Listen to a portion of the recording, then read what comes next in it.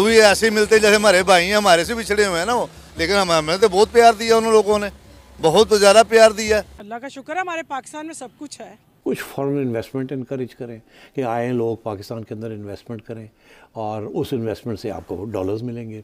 आपकी हुकूमत भी चाहती है इंडिया से हमारे ताल्लुकात हो जाए नहीं चाहती? मुश्तरका हिंदुस्तान में होते तो शायद आज हम पाकिस्तान की मौजूदा हालत से कहीं ज़्यादा बेहतर होते? आज भी प्याज देना पंद्रह रुपये दस रुपये किलो वहाँ पे बिक रहा है पंद्रह रुपये किलो। है? तो हमारे मुल्क में क्या दो सौ रुपये किलो बिक रहा है प्याज? तो लेते क्यों नहीं दे इधर से आता है कश्मीर से बहुत आता रहा टमाटर बहुत आता रहा हमारा वो भी बंद हो गया। तो आईएमएफ से हर साल एक या दो बिलियन डॉलर लेना उसके साथ आपके बाकी सारे रास्ते खुलने शुरू हो जाते हैं। फिर वर्ल्ड बैंक भी देता है एशियन डेवलपमेंट बैंक भी देता है फिर जापानी भी दे देते हैं फिर पेरिस क्लब वाले भी दे देते हैं फिर कुवैत भी दे देता है थोड़ा बहुत। बहुत परेशानी होती है कि इस्लाम के नाम पर लिया गया पाकिस्तान और ऐसे करप्ट लोग और कोई मुसलमानों पे यकीन करने को तैयार नहीं। कोई पाकिस्तानियों को अच्छा मैटर करता है ना इखलाक मुसलमानों का। अच्छा नहीं समझता पाकिस्तानी। क्यों? क्योंकि इन्होंने अपनी रेपुटेशन खुद खराब की है।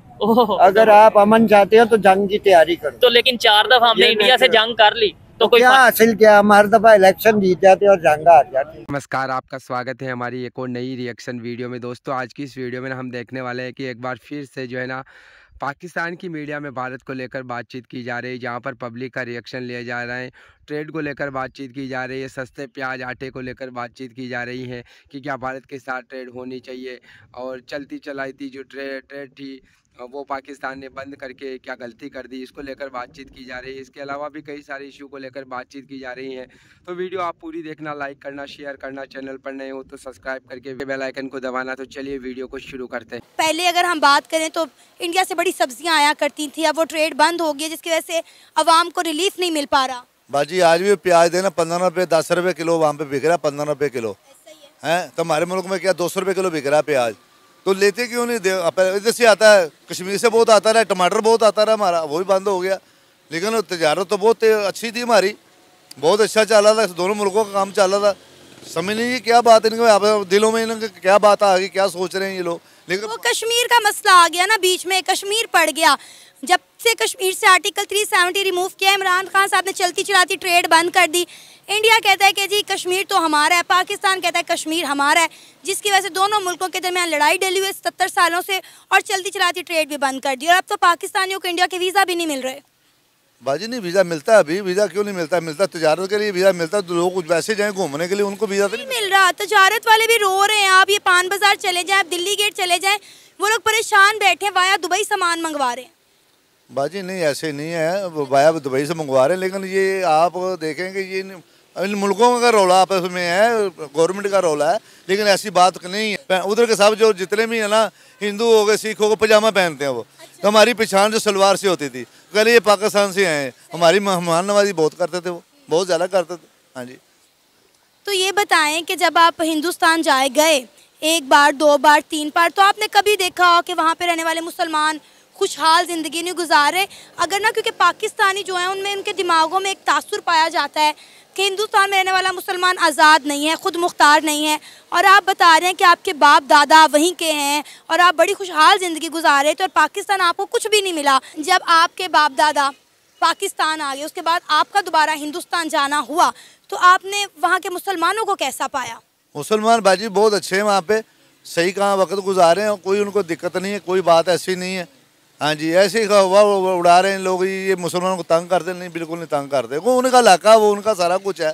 आज हम बात करें ना उनकी, जो हमारे, उनके साथ जाती होती है, वो ये कहेंगे कि हमारे साथ ज़्यादा होती, तुम्हारे साथ नहीं होती। ये हमारा, वो इतना प्यार करते हैं अपने मुल्क के साथ, कि तुम्हें कोई, इससे सरोकारी नहीं है। बिल्कुल ऐसे ही वहाँ के मुसलमान कहते हैं, आप अपनी फ़िक्र करें, हमारी छोड़ें। हम यहाँ पे बड़ी अच्छी और खुशहाल ज़िंदगी गुजार रहे हैं।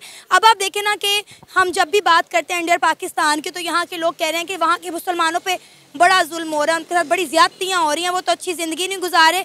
हालाँकि आपके ख़ानदान की बात करें आपका पूरा का पूरा ख़ानदान जो है वो हिंदुस्तान से ताल्लुक़ रखता है और अभी भी आप लोग तड़पते हैं मचलते हैं कि हिंदुस्तान जाना चाहिए वहाँ पर रहना चाहिए। तो अब ये देखें ना कि लोगों के दिमागों में कितना गलत कॉन्सेप्ट डाल दिया है हमारे सियासतदानों ने और हमारे मीडिया ने। भाजी ये तो काम ही गलत है ना इनका ये जो जो जो किसी को गलत कहते हैं गलत तो वो आप ही है ना जो कह रहा है लेकिन गलत वो नहीं है। हम में से बहुत से लोग तकसीम हिंद को पर नादिम भी हैं कि अगर हम मुश्तरका हिंदुस्तान में होते तो शायद आज हम पाकिस्तान की मौजूदा हालत से कहीं ज़्यादा बेहतर होते। तो मेरे ख्याल से कि इंडिया के साथ अगर आप कंपैरिजन करते हैं तो फिर आपको ये देखना चाहिए कि उन्होंने कितना काम किया है। मैं ये नहीं कहता कि इंडिया जो है वो बिल्कुल पाक साफ़ हो गया है। इंडिया ने भले जो है वो सौ तरह की गलतियाँ की हों, लेकिन उन्होंने अपने पब्लिक सेक्टर के अंदर या अवामी लेवल के ऊपर जो है वो बहुत सारा काम किया है इकॉनमी की डेवलपमेंट के लिए। और उनके यहाँ एक मखसूस इदारे का जो वो रोल है वो भी शुरू से कम रहा है तो हमारे यहाँ उस इदारे का रोल जो है वो एग्जिस्ट करता है। बहरहाल नाम लेने से तो कई सारे मसले हैं हमें नहीं हैं बल्कि हर एक को हैं तो आ, ये एक मामला है कि सोचना पड़ेगा और एक सफ़र है जो हम सबको मिलकर तय करना है आवाम ने तय करना है अशराफिया ने तय करना है। जर्नेलों ने तय करना है सियासतदानों ने तय करना है ब्यूरोक्रेसी ने तय करना है आपको सोचना पड़ेगा बहरहाल और एक बेहतरीन लीडर इसका हल है। दुनिया को इंडिया के एग्रीकल्चर प्रोडक्ट्स ही क्यों चाहिए? नहीं मेरे नज़दीक ये मामला है कि कौन दुनिया को क्या चीज़ ऑफ़र कर रहा है। दुनिया उनसे खुद मांग रही है। ऑफ़र तो बड़ी बहुत दूर की बात है ना। क्योंकि वो दुनिया को उस रेट पर या उस रिक्वायरमेंट पर। या उस क्वालिटी पर वो चीज़ प्रोवाइड करने के लिए ना सिर्फ़ बिलिंग है बल्कि वो कैपेबल भी हैं और दुनिया उन्हें मानती है काबिल तो उनसे सवाल करती है। उनकी क्वालिटी अच्छी है उनकी प्राइसेस डाउन है क्या वजह है? क्योंकि उन्होंने इकोनॉमी की सतह पर एक पूरा सफ़र तय किया है। उन्होंने ग्राउंड लेवल पर काम किया है, उन्होंने हर सेक्टर को डेवलप किया है।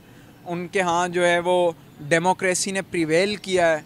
उनके यहाँ कोई मार्शल लाज नहीं लगे, उनके यहाँ हुकूमतें चलने में जो है वो कोई रुकावट नहीं आई। उनके यहाँ वज़ी अजम अपना टर्म पूरी करता है, हमारे यहाँ नहीं पूरी करता तो ये एक वजह है। मिसाल के तौर पर एक वज़ी अजम जाता है तो आपका मुल्क सत्तर साल पीछे चला जाता है मेरे नज़दीक, क्योंकि सत्तर सालों में पाकिस्तान ने कोई वजी अजम पूरा नहीं किया जो पाँच साल जिसने लगाए। आई होप दोस्तों आपको ये वीडियो ज़रूर पसंद आई होगी और जैसा कि इस वीडियो के अंदर आपने दो प्रकार की वीडियो क्लिप देखी है, जहाँ पर आपने पब्लिक का रिएक्शन देखा है, जहाँ पर बातचीत की जा रही है एग्रीकल्चर को लेकर, भारत के साथ रिश्तों को लेकर ट्रेड को लेकर और जो सस्ती चीज़ें हैं जो भारत के अंदर जो इस समय मिल रही हैं, क्योंकि होता क्या था कि जब भारत और पाकिस्तान के बीच में आपसी ट्रेड होती थी, उस टाइम पर क्या होता था कि जो सस्ती सब्ज़ियाँ वगैरह, जो आज भारत में हम देख रहे हैं कि कई सारी ऐसी सब्ज़ियाँ हैं जो पाँच रुपये किलो के हिसाब से, दस रुपये किलो के हिसाब से जो है ना मिल रही हैं। वही सब्ज़ियाँ पाकिस्तान के अंदर दो सौ रुपये किलो के हिसाब से मिलती हैं। तो ये इतना ज़्यादा जो फ़र्क आ गया है ना, जब जब से पाकिस्तान ने भारत के साथ ट्रेड बंद की है, तब से जो है ना पाकिस्तान को दुबई के थ्रू जो है ना सब्ज़ियाँ वगैरह मंगवानी पड़ती हैं, जिससे ओवरऑल टैक्स ज़्यादा लगता है और सब्ज़ियाँ महँगी हो जाती है।